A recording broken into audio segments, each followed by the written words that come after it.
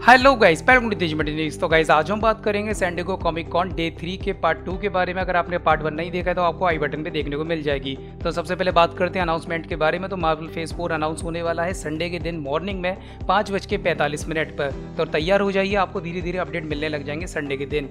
Then उसी के साथ बात करते हैं हेलोविन मूवी के अपडेट के बारे में। सैंडिगो कॉमिक कॉन में कन्फर्म हो चुका है, इसके दो पार्ट आ रहे हैं, जो कि दो हज़ार बीस, दो हज़ार इक्कीस में रिलीज़ होंगे। हेलोविन मूवी काफ़ी ज़्यादा डरावनी मूवी है। उसी के साथ सुपरमैन रिटर्न हो रहा है जी हाँ आपने अगर इस वाले सुपरमैन की मूवी देखी होगी तो ये आ रहे हैं एरोवर्ड्स मूवी में, जो कि पुराने वाले सुपरमैन को रिप्लेस करने वाले हैं। देन ये बहुत खुशी की बात है, क्योंकि ये वाला सुपरमैन काफ़ी ज़्यादा क्यूट और स्मार्ट लगता था। उसी के साथ स्पाइडरमैन फाफॉम होम की एक स्टिल इमेज लॉन्च करी गई है, जिसमें कि वो नाइट मंकी का सूट पहना हुआ है।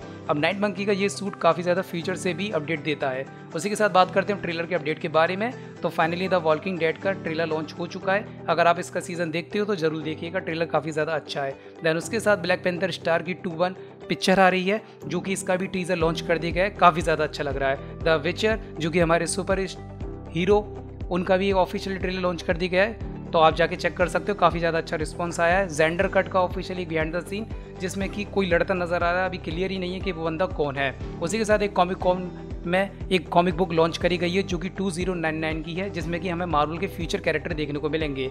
यहाँ पर एक कॉमिक बुक लॉन्च करी गई है ब्लैक विडो की, जिसमें उसके सारे कौन सा पार्ट हैं, जो कि फ्यूचर से रिलेटिव है। तो कल वो पता चल जाएगा मॉर्निंग में। Then Lego Iron Man finally एक अनोदर स्टिल इमेज में देखने को मिली है, जिसमें कि वो पूरा लीगो आयरन मैन सूट बनाया गया है। देन उसके साथ जॉम्बी लैंड डबल टैप का ऑफिशियली पोस्टर लॉन्च करा गया जो कि ये मूवी रिलीज़ होगी 18 अक्टूबर 2019 को।